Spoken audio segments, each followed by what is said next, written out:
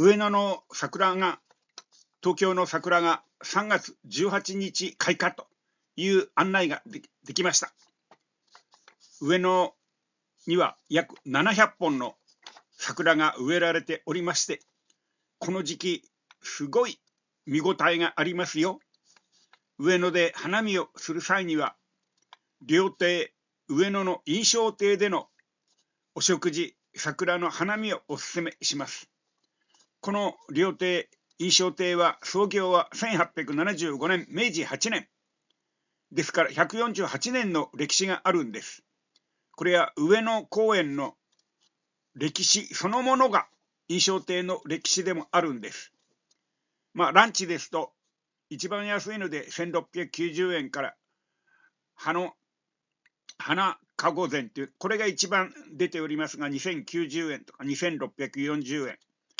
この花かご本膳になると3740円非常にこの落ち着いた場所で食事をしながら上野公園の桜が見られる非常に優れた場所にあります。で、印象亭は明治政府の命令を受けて上野公園の開園に合わせてこの場所に創業した歴史あるお店なんです。非常に上品な味付けでございますので、上野の花見の際にここへ寄って予約をしてお食事をしていただけたら十分満足いただけると思います。明治8年創業の印象亭の歴史は上野公園の歴史でもあります。明治政府は欧米諸国の例に倣って都市公園建設を計画し、まず徳川家の菩提寺である寛永寺に白羽の矢を立てたんです。それまでの寛永寺は前山にまたがる大寺院でしたが、この公園化によって奥のごく一部に縮小されて、鐘楼だけが飛び地となって今の印象亭の隣に隣接する形になりました。政府はこうしてできた公園を訪れる市民のために飲食施設も必要であると考え、民間人を選んでいくつか